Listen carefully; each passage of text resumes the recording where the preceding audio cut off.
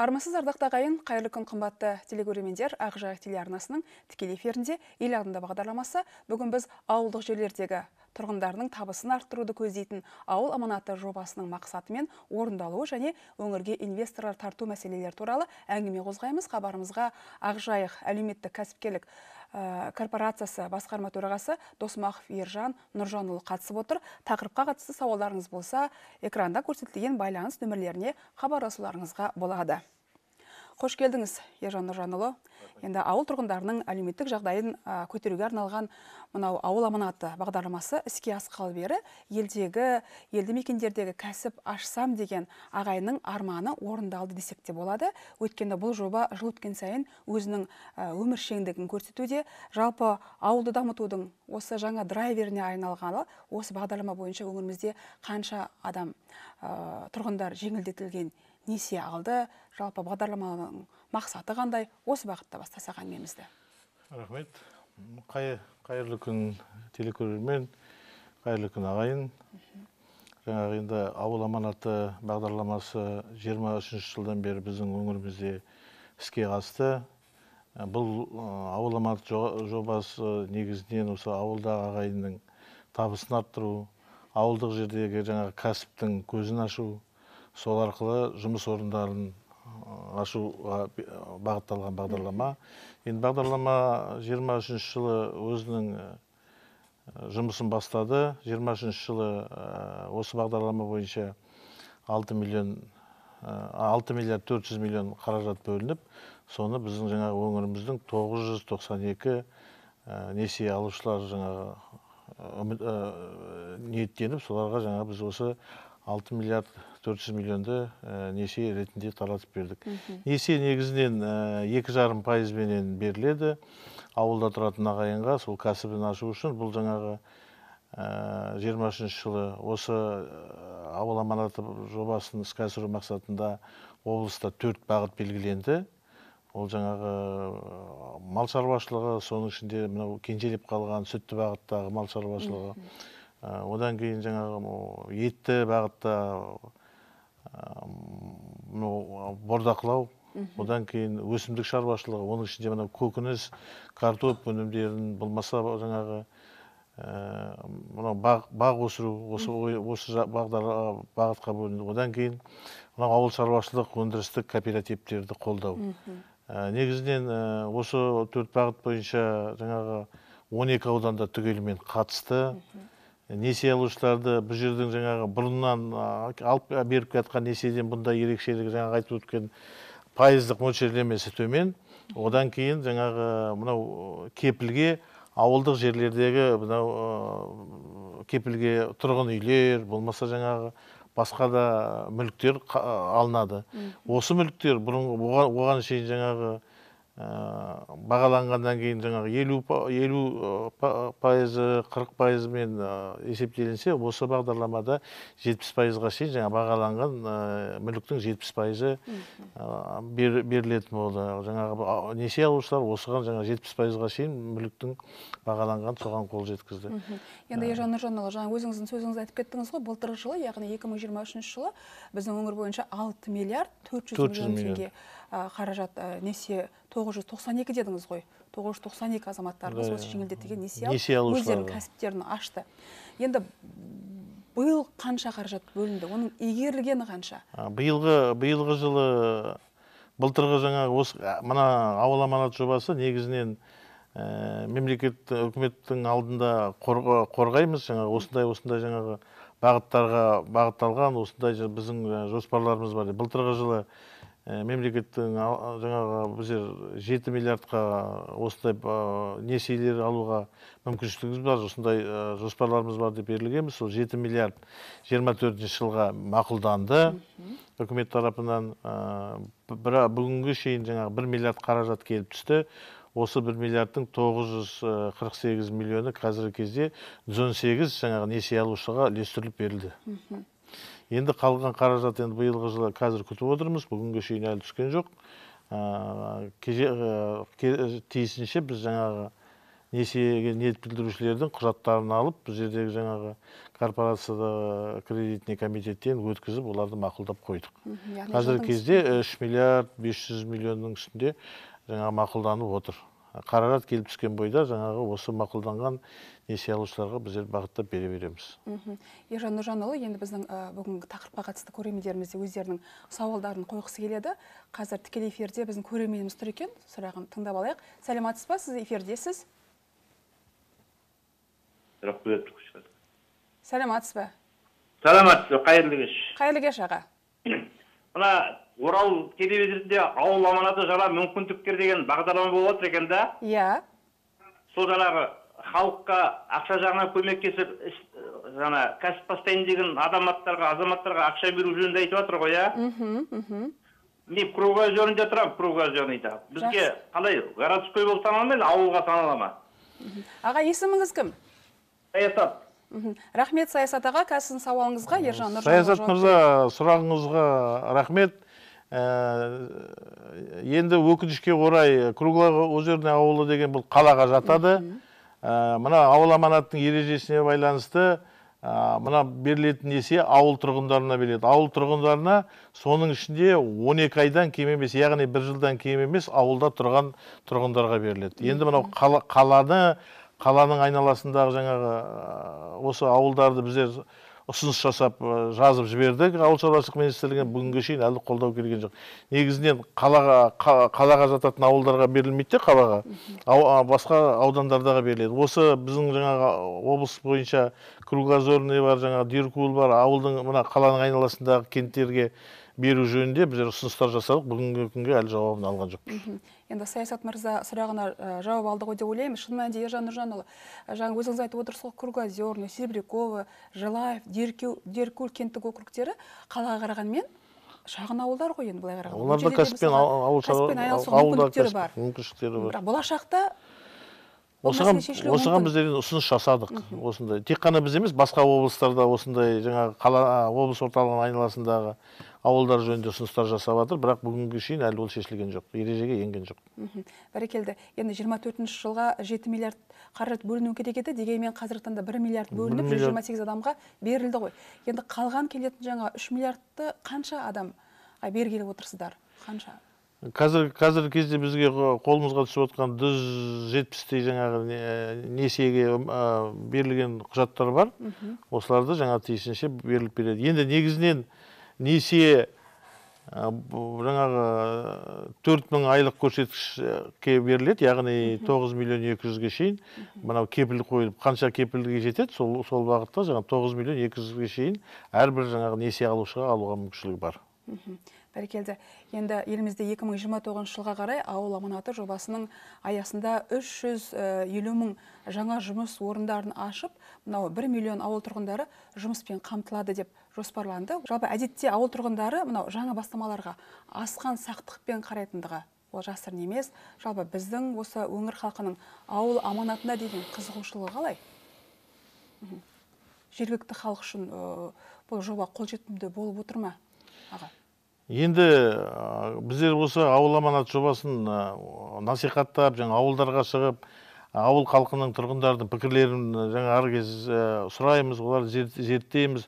Осы қордаланған мәселелер болса соны жаңа тиісті органдарға жеткізіп жоғарыға жеткізіп мына ережеге өзгерістер енгізу жөнінде ұсыныстар жасаймыз. Мысалы былтырғы жиырма үшінші жылы берілген несиенің жаңағы кейбір келіспейтін жерлерін біздер жаңағы ұсыныс жасап жиырма төртінші жылы ережеге солар толықтырылып енгізіліп берілді. Ә, негізінен жаңағы қолдау тауып отыр ә, ниет білдірушілер көп. Бірақ та негізінен ә, былтырғы жылы ә, осы манағы алты ми- миллиард төрт жүз миллионның сексен жеті пайызы мал шаруашылығына берілді де. Енді сол соған байланысты негізінен енді мынау бағдарламаның өзі де айтып отыр ғой. Табыс көзін арттыру жаңағы осы кәсіпті ашып жұмыс орындарын ашу. Жұмыс орындарын ашу мақсатында біздерде әрбір ауылда жаңағы әрбір, аудандық орталықта жаңа кәсіп көзін ашу керек ә, сол ауылда болатын. Негізінен оның кәсіптің көзі ол бүгінгі емес қой кезіндегі мынау кеңес одағында колхоз совхоздар болды. Колхоз совхоздарда әрбір жаңағы цехтар болды. Мысалы құрылыс цехы жаңағы токарный цех басқа да цехтар болды. Ә, кірпіш жасайтын цехтар болды. Осыны біз мына ауыл аманат бағдарламасын пайдалана отырып ауылдарда осы кәсіптердің көзін ашуымыз керек. Қайта жандандыруымыз қайта керек. жандандыруымыз керек. Осы бағытта біздер қазір мынау халықтың басын қосып оларды жаңағы біріктіріп оларға жаңа құрал жабдықтар алып беру мақсатында мынау ауыл шаруашылық өндірістік кооперативтерін құрып сол кооперативтерге жаңағы ә, несиеден бөлек екі жарым пайыз несиеден бөлек ә, екі жарым пайызбенен ә, лизинг алып беруді қолға алдық биылғы жылы. Осы арқылы жаңа құрал жабдықтар алып беріп мына ауылдың халқын ол несие алмаса да осы кооперативтің айналасында шоғырланып жаңағы құрал жабдықтар алып сол жерде жаңағы жұмыс орнын ашып қана қалған халықты соған жұмысқа тарту жөнінде осы бағдарламаны қолдап ә, іске асыруға мүмкіншілік шын мәнінде мынау ауылды дамыту мәселелері үнемі мемлекет басшысының ерекше бақылауында ғой. Былтырғы жылдан бастап жаңа өзіңіз айтып отырған секілді шағын ұжымнан тұратын мынау шаруашылықтарға да көңіл бөліне бастады. Мынау жаңа кооперативтерге арнайы техника мен құрал жабдықтар- жабдықтар алуға лизингпен жаңа жеңілдетілген пайызбен қаржы ұсынып жатыр. Енді аға мынау мал шаруашылығын экономикалық тұрғыдан алғанда жалпы тиімді кәсіп пе осы мал шаруашылығы? Өйткені оның мынау бір жылда емес бірнеше жылдан кейін өз өзін ақтайтындығы белгілі. Былтырғы жылы біздің өңіріміздегі шаруа қожалығының басшылары мынау жаңа сүтті бағыттағы жаңағы сиырларды алды. Олардан қаншалықты қайтарым бар? Жалпы осы мал шаруашылығы қалай? Енді ауылдағы ағайын өздері біледі ғой. Мынау негізінен ә, мал шаруашылығы ол жаңағы ә, бүгін алып ертең қайтаратын ә, дүние емес. Ә, мына біздер несиені ке- кезде де мысалы мал шаруашылығы оның ішінде а- аналық сүтті аналық малға мысалы жеті жылға шейін деп белгіленіп отыр. Кредиттің мерзімі ұзақтығы. Ал басқа кәсіпке бес жылға шейін деп. Ол енді жаңағы мал шаруашылығынан жаңа қайтарым ә, бірнеше жылдан кейін болатын. Енді осы мал шаруашылығының біздің облыс енді ә, мынау ауыл шаруашылығы соның ішінде мал шаруашылығына бағытталған ғой әсіресе мына оңтүстік аудандар. Ә, бұл жақтарда жаңа етті бағытты мал өсіру бізде қолға алынған. Етті бағытты мал бойынша бізде жаңағы республикада облысымыз жаңағы алдыңғы мал басына шаққанда етті бағыттағы. Ол алдыңғы орындарда тұрған облыс. Сондықтан да бізде кенжелеп қалғаны мына сүтті бағыт. Кезінде мынау облыстың айналасындағы аудандар ауылдар жаңағы сүтті бағытпен айналысты. Енді сүтті бағыттағы малдың жаңағы қайтарымы тез. Ә, малды сатып алғаннан кейін ег- егер де ол екі жасар мал сатып алса ол келесі жылдан бастап мал туғаннан кейін жаңағы сүтін сауып ол жаңағы табысын таба бастайды. Сол бағытта біз жаңағы бұл біздің ашып отқан жаңағы жаңалығымыз бұл біздің халықтың істеп жатқан шаруасы. Соны аясын кеңейту мақсатында біз жаңағы ауылдарға осы сүтті бағыттағы малды алыңыз одан жаңағы қайтарымы тез болады жаңағы алынған несие уақытында қайтады одан басқа жаңа пайдасын көруге болады деген мақсатта жаңағы былтырғы несиелерді бердік. Енді биылдан бастап осы жиырма төрттен осы жиырма беске жоспарлап жатырмық осы алынған сүтті жаңағы қабылдау со қабылдау үшін жаңағы соның ә, өндіретін жаңағы сүт өнімдерін өндіретін цехтар ашу. Үлкен үлкен зауыттар ашу бағытында қазір облыс көлемінде жұмыстар жасалып жатыр. Қазіргі осы кредит мына несие алушылар шағын жаңағы сүт өңдейтін жаңағы цехтар ашуға мүмкіншіліктер бар біз сол бағытта халықты соған шақырып ә, сол бағытта жұмыс жасап жатырмыз енді қандай бағыттар бойынша іске аспай тұрған жобалар бар аға? Мысалға құс шаруашылығы мына балық өсірумен айналысамын дейтін ә, тұрғындар бар ма? Енді мана айтып кеттім ғой былтырғы жиырма үшінші жылы сексен жеті пайыз мал шаруашылығына кеткеннен кейін ә, облыс ә, әкімі нариман төреғалиұлымен жаңағы осылай кездесу болып сол жиналыстарда сол ұсыныстар айтылып ә, сол кезде мынау басқа бағытқа жұмыстану жөнінде ә, жаңағы шешім қабылдап сол басқа бағытта жұмысқа жұмыстану мақсатында біздер осы ағымдағы жылдың ақпан айында мына он екі ауданның жаңағы қырық шақты кәсіпкері бар жаңағы округ әкімдері бар. Ә, тәжірибе алмасу мақсатында түркістан облысына бардық. Түркістан облысына барып сол жерде қандай бағыттар жасалып жатыр соны көрдік. Ә, одан кейін келіп қазіргі уақытта соның нәтижесінде жаңағы басқа да мынау кәсіпкерлердің өздерінің ізденуі мақсатында мынау құс шаруашылығы балық шаруашылығына жаңағы бағыттар биылғы жылы көптеп жаңағы бағытталып жатыр. Қазірдің өзінде мысалы 250 миллионға біз құс шаруашылығына несие бердік. Құс шаруашылығын дамыту оның ішінде мынау ә, жұмыртқалайтын тауықтар. Жұмыртқалайтын тауықтарды алып қазірдің өзінде былтырғы алған несие алушылар қазір уже табыстарын тауып жатыр. Ә, тауықты мысалы төрт айдан кейін ол бес айдан кейін тауық туа бастайды. Сосын жұмыртқасын алып уже ол өзінің жаңағы табысын таба бастайды. Болмаса мынау етті бройлер тауығы осымен айналысып жатқан жаңағы біздің ә, жаңағы тұрғындарымыз бар. Несиеге алып жаңағы бройлерді өсіреді оны жаңағы отыз төрт қырық екі күннің арасында сояды тапсырады соны айналдырып сонымен айналысып жатқан Бо- болмаса жаңағы балық шаруашылығымен айналысып жатқан қазірдің өзінде біз үш ауданда жаңағы балық шаруашылығы ниет білдіріп қазір елу сегіз миллионның ішінде жаңағы қаражат алып жұмыстанып жатыр. Олар жаңағы тоғандарда өсіру балықты. Одан одан кейін жаңағы мынау неде торларда торларда өсіру. Жаңағы судың ішіне тор салады да сол жерге балық жіберіп соған жаңағы жемін шашып соны өсіріп соны жаңағы тауарлы балық ретінде сатуға бағытталып жатқан біздің жаңағы тұрғындарымыз бар. Мгм. Яғни екі жүз елу миллион теңге қаражат құс шаруашылығына одан бөлек елу сегіз миллион теңге қаражат жаңағы Иә. өзіңіз айтпақшы балық шаруашылығына да арнайы бөлінген екен ғой. Бәрекелді. Енді жалпы енді несиелік қаражат отбасының және еліміздің мынау әл ауқатын жақсартуға бизнес ашуға беріледі ғой.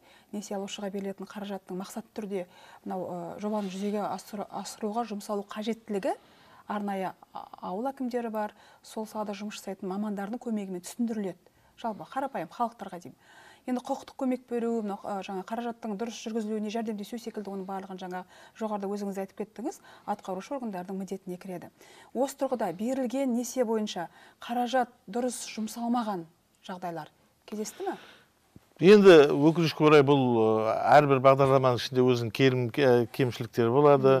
Жаңағы бұл жаңағы олардың түсінбеушілігінен түсінбеушілігінен деп айта алмаймыз. Негізінен насихат жұмыстары жаңа түрлі топтар бар. Жаңағы ауылдың округтің әкімдері бар мамандар бар бәрін түсіндіру жұмыстары жүргізіліп жатыр жаңа әлеуметтік желіден. Ә, енді біз ә, несие берердің алдында жаңағы келісім шартқа отырады. Келісім шартта ә, көрсетілген егер де сіз мақсатты мынау алынған қаражатты мақсатсыз пайдалансаңыз келісім шартқа қол қойғанда көрсетеді. Міне сіз мақсатты пайдалансаңыз 90 күннің ішінде есебін тапсыруыңыз керек. Егер мақсатты пайдаланбаған жағдайда сізге 25 пайыз жаңағы ә, не салынады? Айыппұл салынады.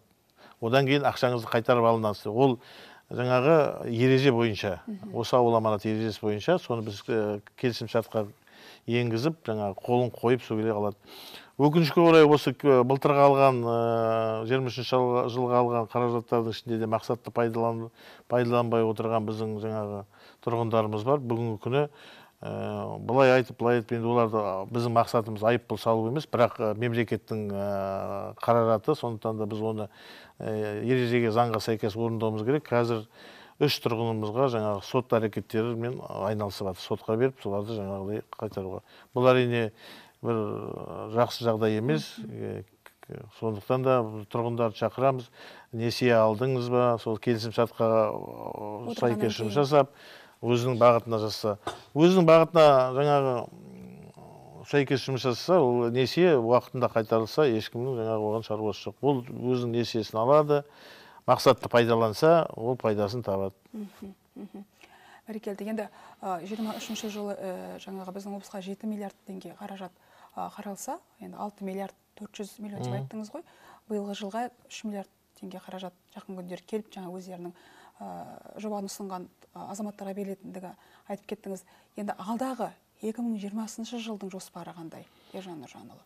Ну, 25 жылға да біздер мына ережеге сәйкес әр жылдың соңына мысалы қараша айларында әрбір селолық округтарда жаңағы жобалық кеңселер бар. Жобалық кеңселерге сол жаңағы ауылда тұратын беделді азамат пен азаматшалар сол жердің жаңағы ақсақалдар кеңесі болмаса жастар әйелдер кеңесі ә, түрлі жаңағы мекемелерден қатысқан ә, жобалық кең- кеңсе бар. Сол жобалық кеңсе осы ауылдың жаңағы қандай бағытқа мүмкіншілігі бар соны анықтайды. Содан кейін кімнің жаңағы қандай жұмыспен енді ауылдың халқының өздері біледі ғой. Мына кісі жаңағы мынандай бағытқа жасай алады деп солар жаңағы өздерінің кеңес кәсіп ашамын деген ниеті бар азаматтар соларды анықтайды. Солар сол бойынша жаңағы тапсырыстар береді. Сол тапсырыстарды біздер жинап бәрін жинап сосын жаңағы облыстық ауыл шаруашылық басқармасы арқылы жаңа ауыл шаруашылық министрлігіне жібереміз. Міне біздерде осындай жаңағы келесі жылға ұсыныстар түсті. Осы ұсыныстарды сіздер мақұлдауыңызға өтінеміз деп біз сол жерге жібереміз. Сосын былтырғы жылы барып сол жиырма төрт күн қорғап келді. Биыл да сондай жылдың аяғында біз жинаған ұсыныстарымызбен келесі жылға тапсырыс береміз. Енді тағы да бір біздің көрермендерімізге түсіндіріп өтіңізші бұл ауыл аманаты, бағдарламасына қатысатын азаматтардың жасы шектеулі ма қанша жас пен қанша жастың аралығында? Ауыл аманаты бағдарламасына мана басында да айтып кеттім ауылда 12 айдан кем емес тұратын ауыл тұрғындары қатыса алады. Олар жаңағы зейнеткер жасына дейін болу керек. Жиырма жастан зейнеткер жасқа шейін. Егер де жаңағы зейнеткер жасқа бір жыл қалған азамат болса ол ала алады. Егер зейнеткер жасқа мысалы алты ай қалған болса ол ала алмайды. Бәрекелді рахмет көп көп. Одан, одан басқа тағы да айта кетейін. Одан басқа тек қана жұмыссыздар емес о, табысын жаңағы табыс көзі орташа басқа да жаңағы бюджеттік саладағы мұғалімдер болмаса басқа мамандар да ала алады. Мысалы бір үйде екі ерлі зайыпты бар мысалы жолдасы мұғалім несі жұбайы жұмыс жұбайы жасаған жағдайда ол ала алады. Неге десең төрт баласы бар табысын есептегенде оған жаңағы табыс көзі төмен сондықтан олар ала алады. Бұрындағыдай жұмыссыз азаматтар ғана емес жұмыс жасайтын басқа ауылдың тұрғындары жаңағы табыс, табысын арттыру үшін ала алады. Бәрекелді рахмет көп көп. Енді ержан нұржанұлы ақжайық әлеуметтік кәсіпкерлік корпорациясы мынау инвесторлар тарту мақсатында қандай жұмыстар атқарып жатырсыздар негізінен корпорация тарапынан қандай қолдаулар бар осы бағытта? Кеңінен айтып өтіңізші. Негізінен ақжайық әлеуметтік кәсіпкерлік корпорациясы ең негізгі жұмыстардың бірі бұл деген біздің жаңағы өңірімізге инвесторлар тарту. Инвесторлар тарту арқылы жаңағы осы өңірдің экономикасына жаңағы қолдау көрсету осы мақсатта жаңағы инвесторларға жаңағы біздер инвесторлар шақырдық оларға жаңағы мынау методикалық көмектер көрсетеміз. Оларды жаңағы бағыттарын анықтаймыз. Оларға бізде қандай мүмкіншіліктері бар соны жаңағы оларға түсіндіреміз. Осы бағытта мысалы биылғы жылдың өзінде біз жетпістен астам өз жергілікті шетелдік инвесторларға жаңағы осындай көмектер көрсеттік. Соларға жаңағы біздің жаңағы инвестицияға олар келген кезде қандай мемлекет тарапынан мүмкіншілік нелер қолдаулар бар соны көрсете соны түсіндіреміз. Одан басқа біздің жаңағы өзіміздің өңіріміздегі инвестициялық потенциалымыз қандай шетелдік инвесторлар болса соларды түсіндіреміз. Біздің жаңағы өзімізге өңірімізде қандай бағытта инвестиция салуға болады соларды бәрін түсіндіріп жаңағы олармен кездесулер жасап осы бағытта. Бұдан басқа жаңағы келген инвесторларға жер жаңағы алып беру болмаса жаңағы ғимараттар жалға алып беру осы осы бағытта біздер жұмыстанамыз бәрекелді жақсы рахмет. Ержан нұржанұлы енді біздің бағдарламамыз тікелей эфир болғаннан кейін біздің көрермендердің де тарапынан сұрақтар келіп түсіп жатыр екен. Соның біреуін оқып кетейін. Қайырлы күн ақжайық телеарнасының шығармашылық тобы мен жәнібек ауданынан хабарласып отырмын. Бүгінгі тақырыпқа қатысты бірақ қана сауалым бар. Менің жолдасым әкімдікте жұмыс жасайды. Өзім жұмыссызбын. Бірінші топ мүгедегі баламды бағып отырмын. Отбасына келіп түсетін қаражаттың көлемі де азғантай. Осы ауыл аманаты бағдарламасына қатысқым келеді. Қазіргі таңда қандай жобамен шұғылданатындығымды әлі жоспарлаған жоқпын дегенмен де кімге жолығуыма болады. Маған осы жобаға қатысуға мүмкіндік бола ма? Арман деген азамат жәнібектен арнайы жазған екен. Жолдасы әкімшілікте жұмыс жасайды кіші қызметкер секілді. Толығымен мүмкіншілік болады. Жаңа айттым әрбір ауылдық округтың орталығында жобалық кеңсе бар. Сол кеңсеге болмаса округ жаңағы әкім аппаратына жолығуға болады. Жаңағы айтып отқан арман сізге толығымен мүмкіншілік бар. Егер де сіздің жаңағы кепіліңіз болса өзіңіз жаңағы жұмыс жасаймын деген бағытыңыз болса сізге несие алуға толық мүмкіндік бар. Одан басқа егер де сізге ә, бағытты анықтайтын қандай жаңағы жолымен шұғылдану қажет не шұғылдануға болады десеңіз бізге тікелей звондап ә, жаңа хабарласып біз сізге қандай бағыттар бар екенін сіздің қандай мүмкіншілік жасауға болатынын оны айтып бере аламыз. Қандай байланыс қандай мекенжайда орналасқан айтып кетпейсіз Ә, бе біздің ә, ақжайық әлеуметтік кәсіпкерлік корпорациясы махамбет исатай 84 мекенжайында бұл жаңағы ә, осы мекенжайға келіп жаңағы хабарласуға болады. Рахмет. Тағы да бір көрерменіміз бар екен. Жұлдыз депті казталфотодан хабарласып отырмын дейді. Қайырлы күн. Ә, бұл бағдарлама ауыл аманат бағдарламасы қай жылға дейін созылады? Қазіргі таңда менің жасым 18-де келесі жылы мектеп бітіремін дегенмен де өзімнің кәсібімді ашқым келеді деген бір қыз бала мектеп оқушысы секілді. Біздің бағдарламаны көріп отырған болып тұр ғой. Қуанышты жағдай. Егер жастар деген ауылдан осындай кәсіп ашамыз десе оған әркез қолдау болады. Негізінен президентіміз осы бағдарламаны жеті жылға деп алдыңғы жылы айтты. Бұл енді сол өміршеңдік әлі болады деп есептейміз. Сондықтан да бұл қарындасқа ашуға болады.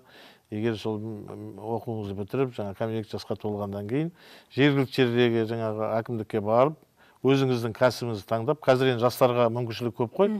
Мынау интернеттен жаңағы әлеуметтік желіден қандай бағыттар бар екенін олар біледі. Толық мүмкіншілік бар. Иә қыз балдарға істік емдеушілер болса жаңағы көрпе бар жаңа неше түрлі кәсіптер өте көп қой. Сондай бір кәсіптердің біреумен шұғылданғысы келіп отырған қыздарымыздың біреуі болып тұр ғой. Рахмет көп көп енді біздің бағдарламамыздың өзінің берілген уақыты да ә, шектеулі. Ендеше уақытыңызды бөліп біздің арнамызға келіп көрермендердің сауалына жауап бергеніңіз үшін ержан нұржанұлы сізге көп көп рахмет. Еңбегіңізге жеміс тілейміз. Қымбатты телекөрермендер осыменен ел алдында бағдарламасы өзінің жұмысын аяқтайды. Эфирде амандықпен кездескенше сау болыңыздар.